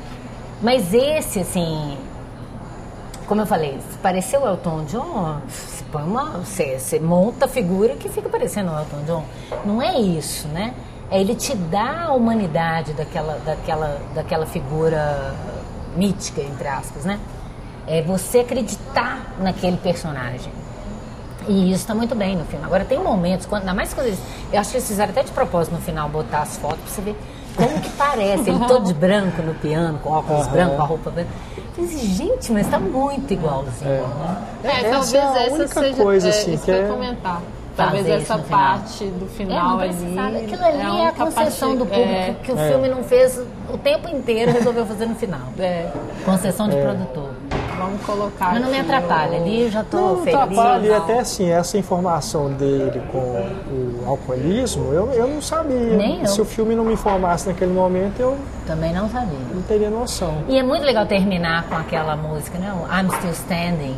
É. Essa ideia da superação, e aí você Sim. vê que ele ainda está ali, ele está sóbrio e ele continua. Quer dizer, não é um momento da vida que ele passou um perrengue, não é, a, ali foi o meu inferno e eu continuo sobrevivendo, continuo de pé. É uma luta de todo dia. Todo né? dia, como é do alcoólatra, né? Então isso é muito legal. Eu achei muito bonita. E é uma música que eu nem gostava tanto, assim, ela tá uma cara muito dos anos 80. mas ficou perfeito no filme, é. Ficou perfeito. E aí eles refazem o clipe da época, né? Qual artista você gostaria de ver um filme como Rocketman? Nossa. nem sei. A Amy Winehouse? Você ia ser tão deprimente? Seria. o problema Ai. é que é triste essa, a vida dessas pessoas. E o documentário sobre ela é muito bom, é, né? É muito bom, mas é muito triste. É muito triste. Eu fiquei muito triste por ela. É, você vê uma figura tão talentosa e incompreendida por causa de uma indústria que não vê ela como pessoa. É. E aí, se eu fosse fazer um filme sobre ela, eu ia trabalhar sobre isso. Esse é, o, é, o, é a essência para mim. É um ser humano que está ali e ninguém vê ela como um ser humano vê ela como uma fábrica de ganhar dinheiro. Da família a todo mundo que está envolvido na música, né? Todo mundo que está em volta. Quase como objeto mesmo. É? É. Eu gostaria de ver Raulzito. Ah, claro, Nossa, seria ótimo. Mas ah, dá até medo falar essas coisas, porque se fizerem um filme do Raul Seixas aqui pra fazer, igual fizeram. Hoje em do, dia o povo ia chamar de pedrado. Tim Maia. não, eu falo assim, pra seguir essa fórmula ah, padrão, é melhor não fazer. É, melhor não. É. Melhor não, fazer. Mas se tivesse alguém com, sabe, com a proposta de fazer um filme bem diferente, assim, fora da curva, né? Uhum. Pô, seria uma, um grande pegar, personagem. Pegar né? esses malditos, Tantas entre aspas, né? Um Sérgio Sampaio, pegar um Belchior, pegar Belchior, esses caras. Pô, imagina. É. Eu queria muito, muito ver Rita Lee também. Rita Lee. É. Acho e eu, eu acho legal também massa. pegar a pessoa viva para ter Isso. chance. Eu sei que pode atrapalhar a produção, né? Pode ser que atrapalhe a produção, mas é, o do Fred Mercury, eu tenho certeza que se ele tivesse vivo ia ser outro filme. Eu também acho. É. Né? Não era o Brian May tomando conta de tudo, ia ser ele tomando conta de tudo, né? E com a capacidade artística que ele tinha, com certeza a coisa ia ficar bem mais interessante. Uhum. E que eu acho que fez diferença no filme do, do Tom John, assim. e laurear a pessoa ver. viva, né? Porque é muito é. comum, depois que a pessoa morre, enche a pessoa de homenagens e tal. Eu vi agora no Netflix, tem uma, um documentário sobre um produtor que foi diretor da Motown, não sei se eu esqueci o nome agora. Muito legal, o cara tá vivo, fizeram, chamaram todo mundo e eu nem sabia quem Eu era não o cara. sabia que ele tava vivo, caramba. Nem sabia quem era o sujeito, aí você vai ver o cara, é muito bacana você ver uma, uma pessoa tão importante, né, com uma trajetória, ou do próprio do Quincy Jones mesmo, né, pegar enquanto a pessoa tá ainda aí podendo receber esses louros na vida, né, isso é Homenagem massa. em vida, reconhecimento merecido, né? Porque às vezes essas pessoas até são apagadas, assim. Porque E Você depois tem fica um só uma nome, mítica é. e você esquece que era uma pessoa por Você tem só um nome deixar. e uma história ali, mas você nem sabe quem é essa pessoa, o rosto dela, você não sabe como que ela tá hoje em dia. Isso, isso importa muito. Eu achei, quando eu vi, começou o filme, ele entra por aquela porta, vai pra uma terapia vestido daquele jeito, eu falei, olha, ele tá entrando num, num terreno alegórico, simbólico. E aí ele arranca primeiro o, o chifre, depois ele vai se despindo, né? Aí eu falei assim, gente, olha que massa, é isso. Tá, tá ali na, na sua cara, a linguagem tá te dizendo. Vamos despir a estrela e vamos te mostrar o ser humano. Tá, você tá vendo É. isso acontecendo, né? E, e é isso que tem que ser. Não- claro que ninguém vai usar, todo mundo vai usar a mesma estratégia, todos os filmes, senão vai ficar. Mas achei incrível essa, essa, essa ideia, né? De você ir vendo e vendo. Por fim, você esquece que aquilo ali é um cara. Aí quando você esquece, vem o Elton John tá aí, No sóbrio, show. há não sei quanto tempo. Mas aí esse reencontro da realidade com, com a ficção é muito interessante para te fazer refletir sobre isso, sobre como a mídia trata as pessoas, né? É aquilo que o Billy Wilder falava, né? Quando ele, na época eu li muitas entrevistas dele em 50 sobre a, a Norma Desmond, né? No Crepúsculo dos Deuses, que ele teve muita dificuldade para achar uma atriz para fazer o papel dela mesma e de tantas outras estrelas que passaram por aqui. E ele falou que ele estava muito preocupado é, em tornar ela uma coisa que não fosse humana, que parecesse só um amálgama de uma situação, mas que não parecesse humano. E é tão interessante isso, né? Porque você fica com tanta dó e ela não é um personagem bacana. Não, você fica, você, tem, você, você fica refletindo sobre aquela situação em si, não só da norma. Mas você começa a pensar no cinema mudo, você começa a pensar em todas as estrelas que perderam a majestade da noite por dia. Acho que é isso que o cinema tem que fazer. Né? Essa ideia do, do particular, de particularizar um conflito para te fazer refletir sobre todo, um todo, sobre algo mais para além daquela história. Sobre E é muito bacana contexto. quando o cinema, principalmente o comercial, consegue fazer isso. Né? É, porque nós, assim, aca- acaba que a gente tem o nosso individual, mas a gente está sempre em relação. Então, o filme, quando vê isso e te mostra essa relação, ah, o meu sentimento, o meu pensamento, o meu comportamento vem dessas relações. Então, ele ganha força. Porque aí a gente está falando não só de um personagem, mas a gente está falando de todo um contexto, de uma vida, de um sistema, né? Igual no caso do Elton John, desse sistema do show business, né? Desse sistema também da, da sociedade preconceituosa, da família, do núcleo familiar, o quanto que o núcleo familiar pode ser é, problemático. Então, transcende, assim, não é só sobre a pessoa, mas ela em relação. E não é isso, ó. Pra quem é fã do, do Elton John, não saber da vida dele, não é isso. É, eu falei, é uma história de superação que qualquer pessoa pode se identificar com aquilo e se comover com aquilo. E aquilo pode servir para refletir ou como exemplo para várias outras situações, vários outros casos.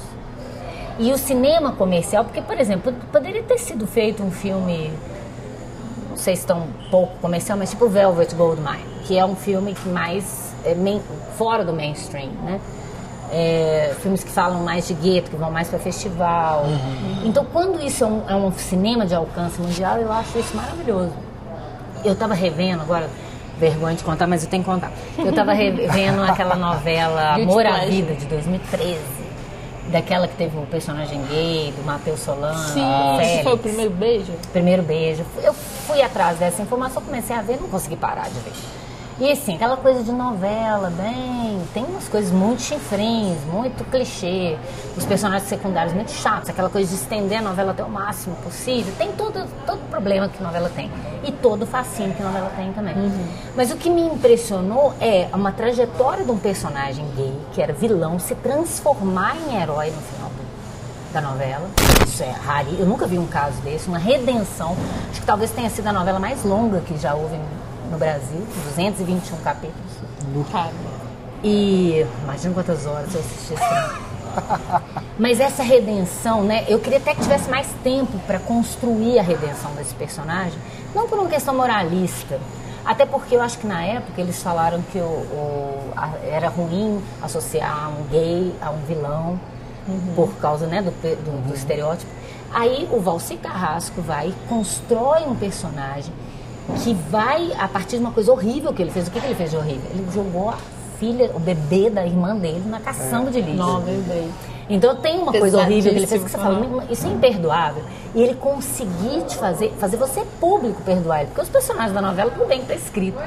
Mas eu fiquei mas encantada. Eu achava aquele personagem estereotipado, gostava do Matheus Solano, mas achava muito clichê de, de bicha má. De né? trejeitos, assim. Eu fiquei encantada, apaixonada. Quando tem o beijo, finalmente o beijo, eu falei, gente, eu chorei pensando assim, gente, eu não sou gay, chorei, fiquei emocionada. Imagina uma pessoa vendo isso pela primeira vez, com os pais, com a família homofóbica. Porque novela é uma coisa do núcleo familiar, de dentro da sua casa. Sim, sim. Uhum. Eu fiquei, eu falei, e que importância por falar na época, ah, o beijo careta, uma coisinha assim. Mas as pessoas Mas não entendem o passo. Não estou defendendo a Globo, não, estou defendendo a dramaturgia popular, não a Globo. Estou falando desse núcleo artístico que se propõe em construir isso, ainda que seja dentro dos limites do que significa essa indústria também da, da Globo. A importância disso que deve ter sido na vida de tanta gente. E é lindo, assim, sem dar spoiler, uma novela de 2003, ninguém vai querer assistir agora. Mas você tem um beijo que você pensa assim, ah, vai ser um beijo, né? Você até espera por esse beijo na novela. A construção do romance é incrível né, é um, é um, você fica torcendo por um casal homo durante um filme. Numa novela, num filme tudo bem, você já viu isso, mas numa novela brasileira. Aí é, eu tô esperando o beijo e nada. Aí falei, gente, no, ter, no antepenúltimo capítulo, vai para é, eles vão ficar juntos. Aí você fala, agora que vai rolar o beijo. Aí não, ele fala, posso dormir aqui? Corta, dormiu. Três capítulos depois, que é o último, no meio de uma já passou muitos meses, no meio de uma cena cotidiana, ele tá indo trabalhar, dá um beijinho no Ronaldo, não, vem cá. E, e dá um beijo, assim, super casto. Uhum. Careta, do ponto de vista de quem queria ver, sei lá o quê. Mas é tão importante essa construção também, de que não foi no momento sexual, no momento. Se fosse o primeiro beijo, não dá pra ser casto, né? É. Como, vamos combinar, você esperou tanto pra ficar com alguém, você dá um beijinho de selinho, igual em Hollywood nos anos 40. Não dá. Então ele constrói um beijo de amor, de uma convivência cotidiana normal, entre aspas, uhum. no sentido, né? Qualquer pessoa pode ter.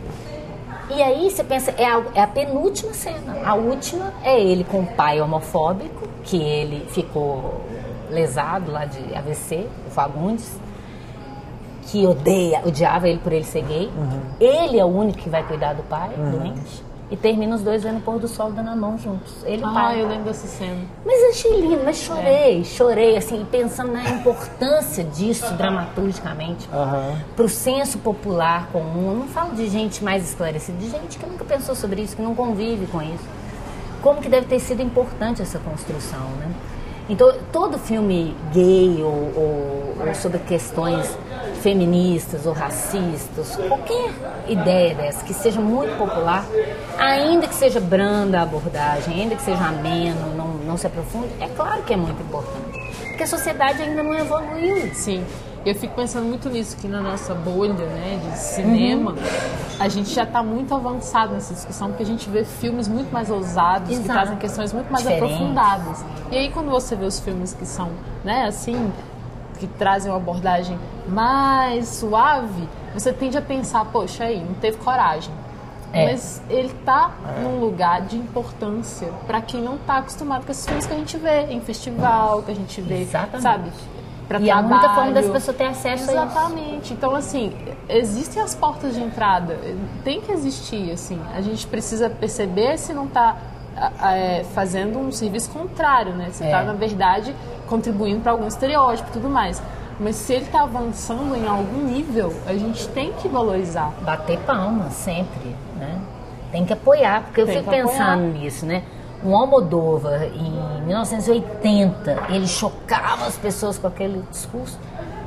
E agora, gente, mostrar cena de sexo gay e assim. Hoje em dia você vê um beijinho numa novela, casto e dá um rebu. É. Meu Deus do céu, nós estamos em 2013, né? No caso dessa novela, ou 2019, no caso desse filme. Uma orgia super é. normalzinha, assim, se é que tem uma orgia. Nem tem nada, cara. É uma orgia de cores. E o povo horrorizado, gente. Não, agora a sessão que eu fui, tinha muitos casais, eu fui de tarde, na primeira sessão de tarde, tinha muitos casais mais velhos, duplas de senhoras mais velhas, elas pareciam que estavam adorando. Eu queria até ter é. perguntado a elas depois. super de boa. Entrevista pós-sessão. É. A Ana voltou a ser jornalista. Gente, massa, né? Pô, falamos aí sobre Rocketman e também sobre amor à vida. Meu Deus do céu, corta. Não, falei, eu vou escrever pro Valci Carrasco, né? achei incrível. Mas foi muito bom, né? E é isso, a gente fica aí realmente agora aguardando para ver o que, que a academia vai fazer com esse filme, né? Porque já que quis incensar o Boêmia, né? Agora. Agora vai Eu acho que vai ter uma premiação, né? né? Por essa tendência, né? Igual Pantera Negra, tipo assim, ó, filme de super-herói deu muita bilheteria, o público tá gostando, vamos incentivar. Então, um filme de musical. Foi, nesse foi o primeiro, né? Ele fez muito sucesso. O Boêmia. O Boêmia, e aí logo de cara o primeiro já é. já ganhou o prêmio, né? É. Porque as pessoas não estão indo mais ao cinema. É. Então, quando as pessoas começam a ir muito ao cinema, por isso que eles deram também uma, uma força pro Corra e devem dar agora pro Aço também, né? O Nós. Nós. É, Nós. Porque as pessoas não estão indo ao cinema. E, de repente, você tem um filme, Bohemia e o Nós e o, o Corra, as pessoas foram mais de uma vez ao cinema no cinema, elas não baixaram, não, elas foram de novo. É, se bem que pensando por essa lógica aí, quem vai ganhar o Oscar é Vingadores. é. Mas você vai ver, um monte de prêmio técnico vai estar tá lá. Ah, sim, com vai certeza. Vai estar lá destacado. Nossa, Eles não se deixam não tiver... de destacar isso. Não, eu, eu acho que Vingadores vai ser indicado o melhor filme. É mesmo? Eu acho. Nossa, eu tem acho. tanto para trás para eu ver que não consigo ver agora isso. Eu acho. Mas eram cenas para os próximos capítulos. Isso. Depois a gente volta para falar se cumpriu a profecia. Ana, valeu demais. Valeu muito. E a gente te aguarda para falar sobre Almodóvar. Por favor, tô louca para ver, eu vou ver agora.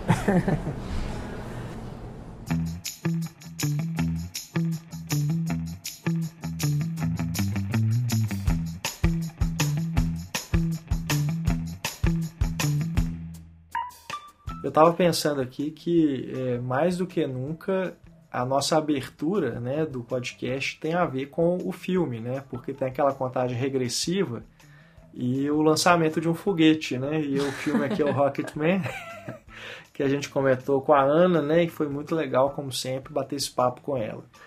E, bom, vamos para o nosso corte rápido, porque a gente tem mais um filme musical para comentar hoje, que é o Aladdin, a gente tem que comentar né, sobre esse filme porque a Disney entrou nessa onda de refilmar, refazer as suas principais animações. Né? A gente já falou esse ano sobre Dumbo, né, dirigido pelo Tim Burton. Uhum. Agora a gente vai falar também. com a Ana também, né? Só que ela não viu o Aladdin, né? É. Então deixamos para comentar aqui no corte rápido.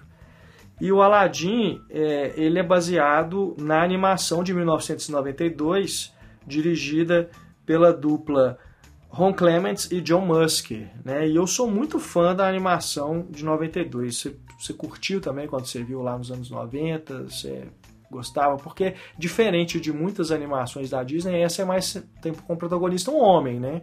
Tem a princesa lá, a Jasmine, mas o filme é todo centrado no Aladdin.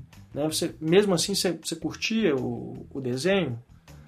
Eu curtia só não revisitei. Não sei dizer se eu curto ele você... tanto quanto. Ah, você só viu quando você era criança mesmo, Isso, então. só vi nos ah. anos 90. Mas eu me lembro que mesmo de ser centrado no Aladdin, o personagem título, é, a Jasmine já era uma, uma princesa diferenciada, assim. Ela já é. tinha mais autonomia, mais independência e... A etnia também. É, né? exatamente. E toda essa coisa da da, da cultura árabe e tudo mais. Que na época eu me lembro que a gente tinha todo o envolvimento com isso, né? As roupas, é. né? Essa coisa da dança. Então eu achava massa, sim. É, eu, eu sou muito fã, acho que justamente por ser uma das poucas animações da Disney que tem um homem como protagonista, né? Então, quando eu era moleque, eu curtia mais ver o, o Aladdin do que as outras animações da Disney, né? Gostava também, claro, do, do Rei Leão, né? Que veio depois, e Toy Story, né? Veio outros aí que tinham homens no, no papel principal. É, não que eu não gostasse, né? Das outras animações. Eu sempre curti muitas animações da Disney e de outros estúdios também, mas Aladdin era que eu achava mais legal, né? E assim, vendo agora esse remake, tem muita diferença, né? Eles mudaram bastante. A, a, a, estrutura da história é a mesma, mas a gente tem diferenças substanciais. Por exemplo, o próprio vilão, né, o Jafar, ele é bem mais jovem, né, no filme agora, do que na animação, que era aquela figura, né? Como se fosse o, o vizir, mas é aquele vizir que ele é o conselheiro do rei mas mais ele sábio, sábio, né? Um tipo uma figura mais experiente, né? Uhum. Então aqui ele não só é mais jovem, como também é dada a informação pra gente que ele é também um ladrão como o Aladdin. Isso não tem no desenho original. Né? Uhum. Ele é um feiticeiro e tudo, mas ele não tem esse passado como um ladrão. E isso no filme novo é usado como uma um mecanismo para por desenrolar da trama. Vou tentar não dar spoiler aqui, porque tem diferenças, né? Realmente, para quem não viu o filme ainda, não sei, eu acho que ele não foi um estouro de sucesso, não foi é. todo mundo correndo ver Aladdin. então pode ser que tenha pessoas que não viram. Mas vou tentar não dar spoilers muito pesados. É. Isso também Mas criou isso uma é usado, né? né? O fato dele ser ladrão, isso é usado como é, parte da narrativa, né, de como que as coisas vão se desenrolar, ali, principalmente mais pro fim, e no relacionamento dele com o Aladdin. Né? É, exatamente, cria esse elo de ligação maior, assim, é. essa identificação com o vilão, né. É. E a, a, o que ficou todo mundo se questionando, né, mais do que a própria questão do live action em si, era a substituição do gênio né, pelo Will Smith, porque o Robin Williams infelizmente faleceu. Não acho nem que ele, se estivesse vivo, né, é, ele reprisaria esse papel como o, é, o gênio. Acho Eu acho que não, porque na animação faz sentido porque ele está só dublando, uhum. né? Então não é uma grande questão assim ser um, um ator americano e tudo, mas é, aqui acho que realmente ficaria um pouco mais complicado, né? Até porque eles tiveram uma preocupação de escalar atores que correspondessem à etnia dos personagens. Né? É, mas eu fiquei também preocupado porque o Will Smith ele não vem numa boa fase já há algum tempo, né? Fazendo produções meio estranhas. Depois que ele ele pegou, ele entrou naquela é, aquela rotina, né, de atores que fazem muito sucesso como comediantes e depois querem se, ser, ser levados mais a sério e começam a fazer papéis dramáticos para ganhar Oscar, né? E o Will Smith ele entrou nessa e depois não saiu mais. Então há muito tempo eu não vi o Will Smith fazendo esse tipo de papel que ele faz aqui no Aladdin, que lembra realmente o, a fase dele nos anos 90, nos começos dos anos 2000, é. né? Então eu achei muito bacana, porque parece que ele estava se reconciliando, sabe? Uhum com essa persona dele. Então eu, eu fiquei satisfeito com a participação dele. Ah, eu também gostei. Eu acho que grande parte do filme ser divertido é por conta dele, por, pelo jeito que ele dá pro, pro gênio, assim, né? Pegar um, um personagem que é icônico, né? Que a gente já tem uma memória é, muito fixa dele e dá um jeito dele, uma cara dele mesmo. Inclusive, eu em vários momentos eu me lembrava de um maluco no pedaço, assim. É, então, eu achei bem legal toda essa malemolência, essa, né, essa essa vibe assim mesmo de, de uma de um, de um comediante que tá confortável ali, né? E ao mesmo tempo tão fantasioso. Eu achei ótimo. É, o número musical o primeiro, né, dele dentro lá da, da caverna, é, ficou muito bom, né? Porque o, o, gênio da animação ele tem aquela coisa toda maluca, psicodélica. É, de exatamente. transformar num monte de cópias dele mesmo, ficar gigante, pequeno, né? E levar os personagens para dentro dessa loucura dele ali, daquela imaginação, dessa fantasia. E conseguiram reproduzir, né? Pelo menos nesse primeiro número uma coisa bem parecida com o que é na animação, né? É. Esse espírito, assim, que, por exemplo, se a gente for pegar a Bela e a Fera, né? O remake live action, fica terrível, né? Aquela cena musical dos talheres, das xícaras, que na animação é uma coisa linda, né? Mas no filme com live action ficou uma coisa é. muito engessada, né? Não conseguiram fazer daquela mesma impressão. Que é algo que eu suspeito que vai acontecer com o Rei Leão, mas veremos aí no ah, mês que vem. Hakuna Matata, só vou dizer isso. Não, eu, Vamos eu tô... aguardar para ver o que fizeram com essa sequência. Eu mas... estou eu estou otimista. Eu espero que dê certo. É. E mas uma coisa legal também é exatamente isso, assim, eu acho que dialoga até com Rocketman nesse sentido, de abraçar a fantasia mesmo, de é. abraçar essa grandiosidade, sabe?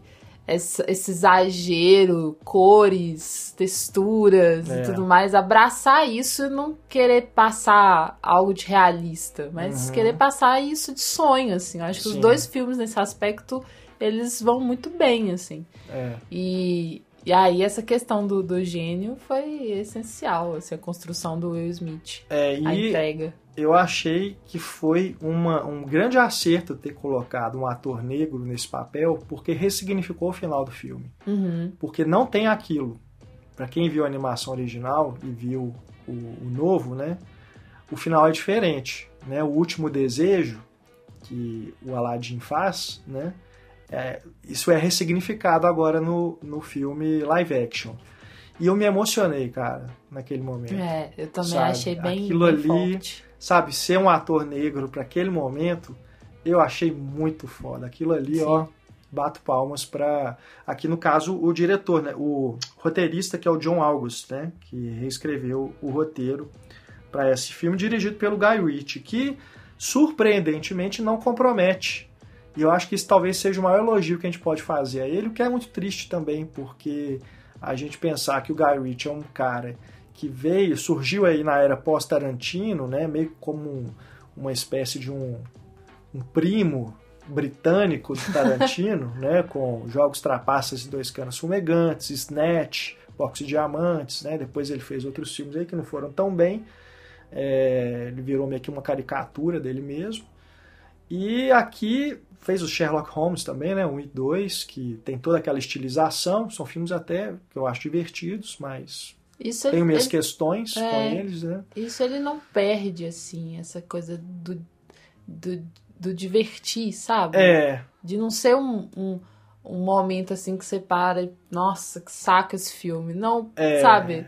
Você consegue se divertir com os filmes dele. É, sim, eu, eu, eu achei esse aqui divertido e não confuso. É. Porque um problema do Guy Ritchie é tornar os filmes confusos, porque ele faz tanta pirotecnia com truques de câmera, slow motion, é, viradas de roteiro de parar e depois mostrar que tudo aquilo que aconteceu não era o que a gente estava pensando, né? E, enfim são ele faz filmes muito confusos, né? Muitas das vezes. E aqui ele não faz isso. Então ele contida, ficou uma, uma coisa.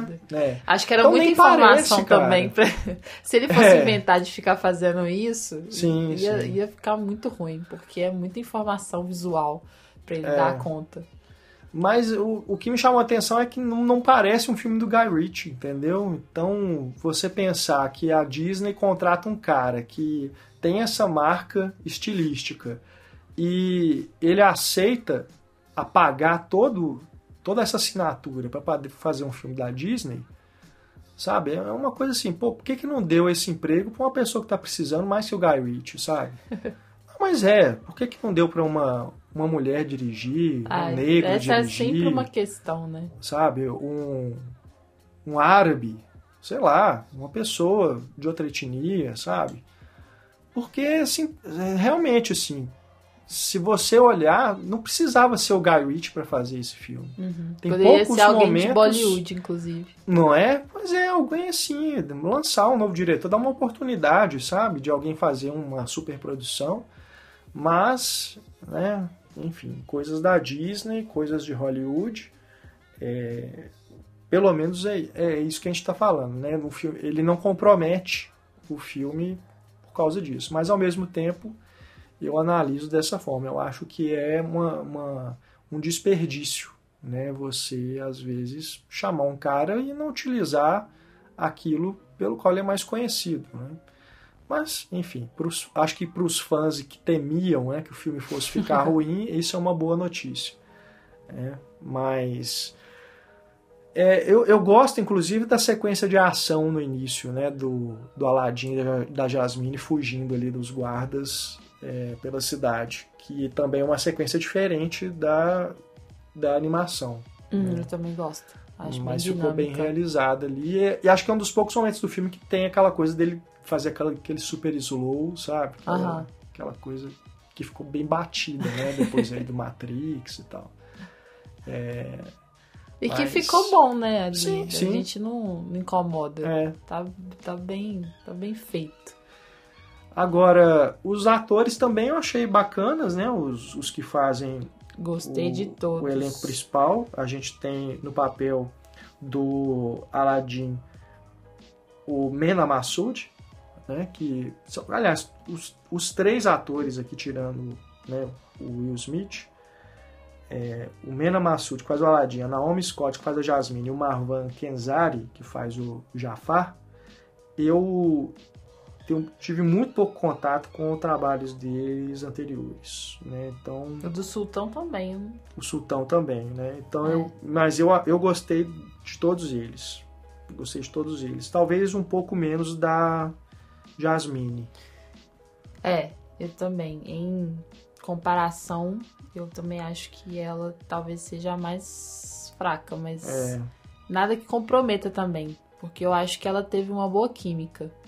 Tô vendo aqui que ela fez Power Rangers, né, o filme de 2017, mas eu não vi esse Power Rangers. Mas é a primeira vez que ela surge num papel assim de maior destaque para a figura dela, né? Uhum. É, mas é, é, é, eu não sei, é um pouco travada, talvez. É. Né? Ela me lembrou a Freida Pinto, que tá no Quem Quer Ser um Milionário, né? E uhum. vários outros filmes. Ela fez aquele Lion também, se eu não me engano. Não sei. Mas ela, ela fez diversos outros filmes depois. Mas é isso, é, é essa, essa beleza exótica do Oriente Médio, mas que não, como atriz mesmo, não entrega assim uma é. interpretação tão convincente, né? Eu até acho que a beleza dela nem é tão exótica assim. Acho ah, que, em comparação, tipo, pelo menos assim. É, né? em comparação padrão com o padrão Disney. De beleza, Hollywood. hollywoodiano, sim, mas se for. É, não, é, sim. Avaliar, sabe? É. Mas eu acho que, pelo menos em, em, em interação, assim, eu acho que eles têm uma boa química. Apesar dela ser mais travadinha mesmo. E não sei, talvez eu não tenha gostado muito do Jafar, porque eu acho que ele uhum. ficou muito caricatão, é. assim. É. Então, eu acho que, no, no, sabe, olhando no conjunto, assim, ficou bom. Mas se você for avaliar um por um, você percebe umas, uns problemas e tudo mais. Uhum. E a Jasmine, ela tem uma outra particularidade também nessa versão, né? Ah, é, isso com certeza eles iam fazer, né? Porque, assim, tá fazendo uma versão é, live action. E em 2019 precisa colocar a pauta feminista. E aí, no caso, é, eu acho que tem que colocar mesmo, mas eu, sinceramente, não gostei do número musical dela. Achei péssimo. É, é tão, assim, forçado. É forçado. Essa coisa de é aquilo que eu comentei no, no, no Vingadores, entendeu? Vamos parar agora para fazer o momento Girl Power e Speechless, né? Que é o nome da música. E literalmente para mesmo. Porque Para, porque assim. Congela tudo. Congela tudo. Aí começa aí, né? Como se fosse um É. devaneio dela ali, ela apagando os, os outros que estão ao redor. E aquela música pra mim foi assim, sabe? Como é que é? Não, Horrível. calar, né? Uma coisa assim que ela fala. É.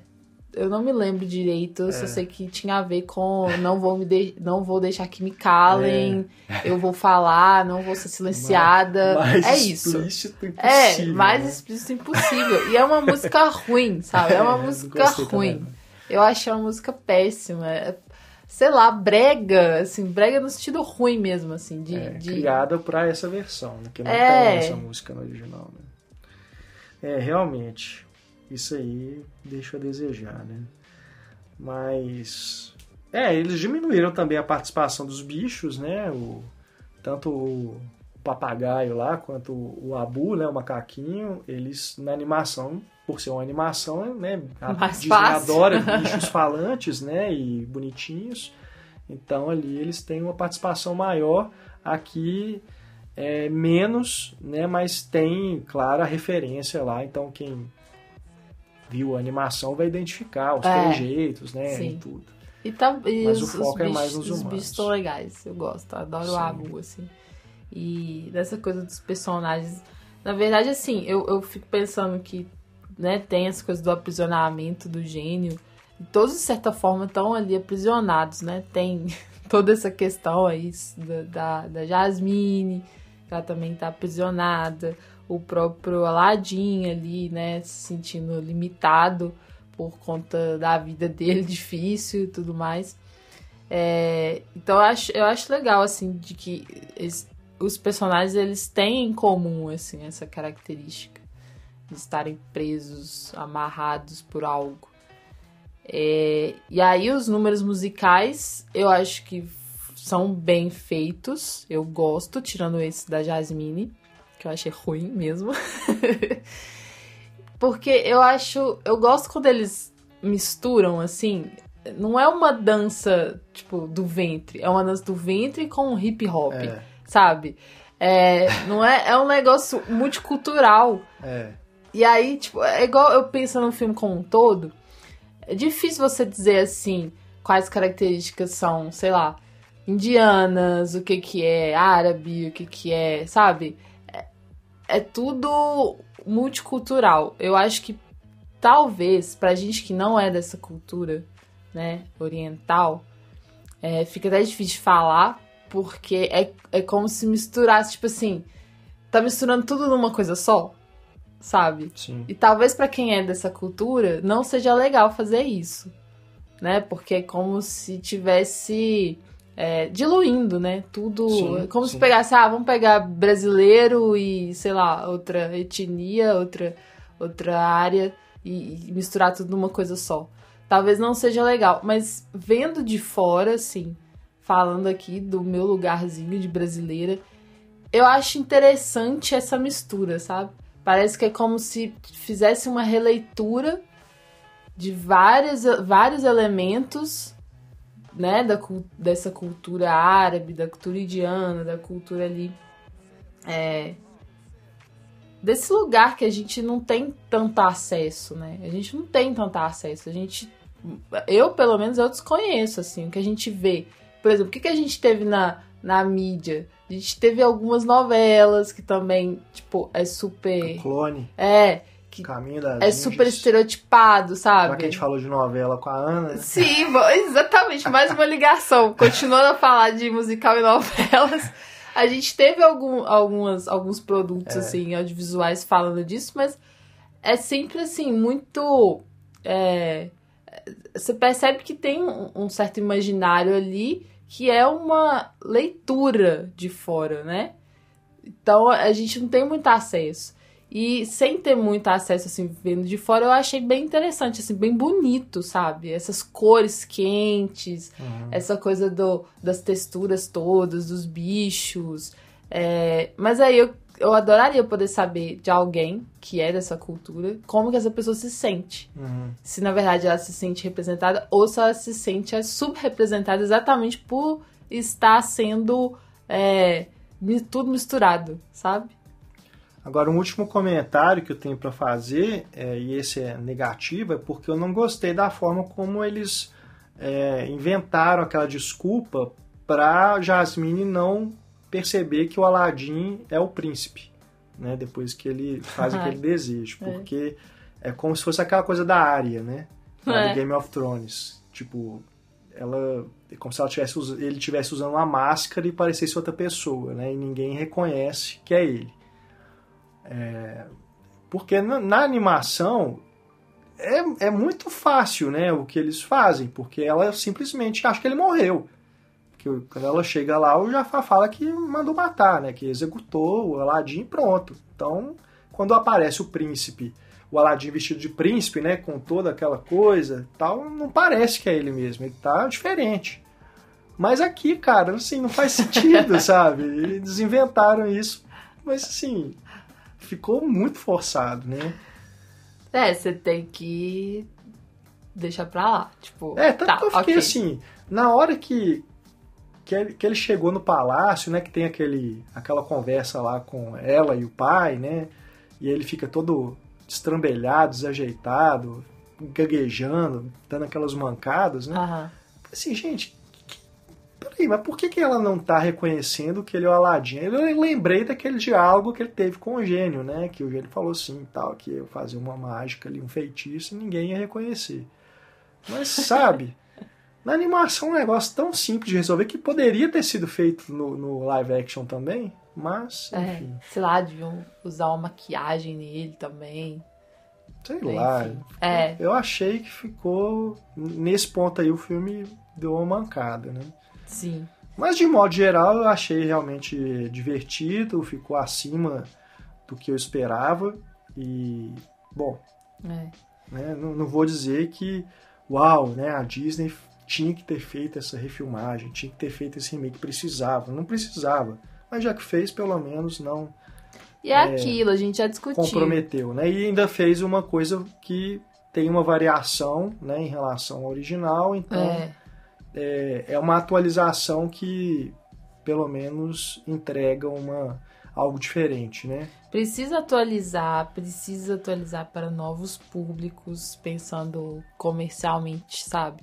Porque a gente gosta muito das animações passadas, mas eu penso que os meninos de hoje em dia podem não gostar tanto, sabe? Ah, eu duvido. Ah, eu acho que Em relação ao Aladdin, eu duvido, porque ela é muito legal, cara, é muito bem Eu sei, feita, mas eu tô falando ainda do... funciona hoje. Eu acho que eu acho que talvez não seja tão atrativo para eles porque eles têm uma outra vivência de tecnologia, sabe? Não acho, porque se a gente for pensar assim, então todos os filmes clássicos eles vão deixar de ser atrativos. Não é, não entendeu? é porque eles estão deixando de ser atrativos. Vão ter que refazer toda a história do cinema, então para ficar mais atrativa para geração nova. Não é isso, é porque a gente tá falando de Disney. É diferente. Mesmo assim, é mesmo assim, Disney, assim, eu sabe? acho que são, é, é uma cultura é, midiática que ela não, não, não fica. É, como é que fala? É, ultrapassada sabe? Não, não acho. eu não acho que fique ultrapassada, Tanto mas eu acho que não tem problema de ter atualizações. Temos... As Sim, duas mas... coisas podem existir. Você Tudo pode bem. ter um filme antigo e um filme novo. Tá, sim, tudo bem, mas é, a necessidade, ela não é real. Você pode criar histórias novas pra, com essa tecnologia de hoje, com os estilos de hoje. Mas é sabe? mais difícil você não precisa criar. Não é difícil, é preguiçoso o estúdio é, não fazer isso. é mais eles... cômodo para Disney pegar um negócio que está pronto, já está estabelecido, entendeu? E que os pais vão levar as crianças e aí vai pagar o dobro do ingresso. É porque isso, o pai vai querer lembrar da é infância dele. É mais difícil Entendeu? no sentido de que para você criar algo novo, você tá arriscando. para você pegar uma coisa pois que já tá é. tá pronta, você já sabe que aquilo vai dar claro, certo. Claro, mas... Sem que... falar que tem a nostalgia. Sim. E aí os adultos também podem participar, porque, ah, é uma coisa nostálgica também. Eu sei, sabe? mas a gente não pode concordar com esse pensamento. Eu entendeu? não tô Ele é real. Ele é real, mas a gente tem que, que criticar. Que a gente tem que é. criticar e apontar, assim, ó, a Disney está fazendo isso porque ela quer dinheiro. Esse é o único tá, motivo. Ela eu... não está preocupada que as crianças vão achar o Aladim, o Rei Leão, a Pequena Sereia antiquados, não. Ela quer mais dinheiro. É o único motivo pelo qual a Disney faz esses filmes. Só isso. Ok. Só ah, isso. Eu fico desculpa. realmente pé da vida. Com, eu só quis dizer que eu Com isso, porque a gente está vendo, inclusive a própria Disney, os próprios estúdios estão vendo agora com a queda de bilheteria, da arrecadação, né, no fim de semana de estreia, que o público já não está mais comprando isso, o público está ficando cansado. Depois você reclama, por que, está todo mundo fugindo para Netflix? Porque a Netflix que faça filmes ruins, que faça séries ruins, mas pelo menos tem mais, pro, mais produção, mais conteúdo original ali do que a gente encontra no cinema hoje. Sim. Sabe? Então é isso. Mas eu não ligo de ver Rei Leão na nova versão. Eu, inclusive, quero ver. Não. eu verei porque eu trabalho com isso. Mas que eu me incomodo, eu me incomodo. Ah, eu, eu, acho um desperdício e um desrespeito com os animadores, inclusive. Não, do filme eu não original. acho. Eu acho que você está exagerando.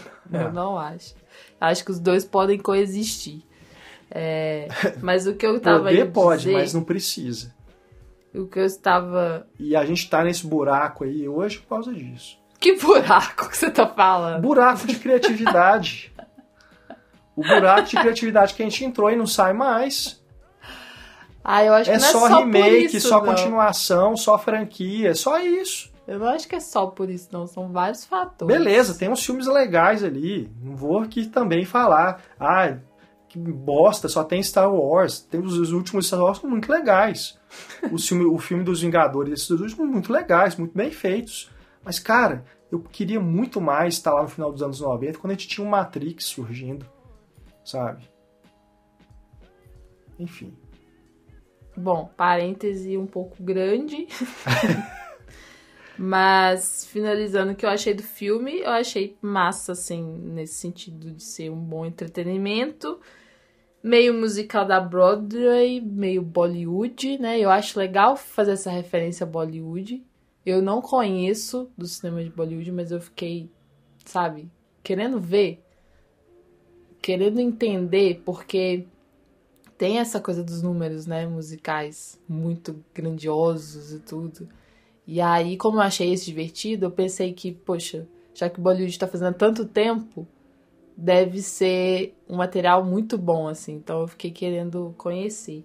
E uma coisa também que eu achei uma adição legal nessa versão, que é a zona cinza do pedido. Porque eu não me lembro disso na animação. Uhum. É, e é, eu achei isso, é muito legal do do gênio trazer isso assim pro pedido, essa zona cinza. Você tem que cuidado com o que você quer, você tem que ser específico, você tem que pensar sobre o que você está pedindo. Então, assim, é. isso foi legal. É, a, a resolução é igual, mas é, a, essa, esse elemento aí a forma como se dá ali é diferente. É, e ele, ele fala, é ele traz uma consciência pro Aladdin é, sobre é, isso, entendeu? Isso então eu achei bacana, assim, a gente aprofundar essa coisa do pedido, do que você quer e do que você quer realizar. Bom, é isso. Então, se você tiver aí comentários sobre o Aladim para compartilhar com a gente, deixe seu recado na página desse podcast ou manda um e-mail para a gente no contato arroba cinematório.com.br. E falando em mensagem, falando em e-mail, hora do nosso recado cinéfilo. Hoje com uma mensagem que o Jackson Botcher mandou para a gente por e-mail. Ele falou: Olá, Renato e Kel, não acredito que eu perdi a oportunidade de falar com a Kel em Curitiba.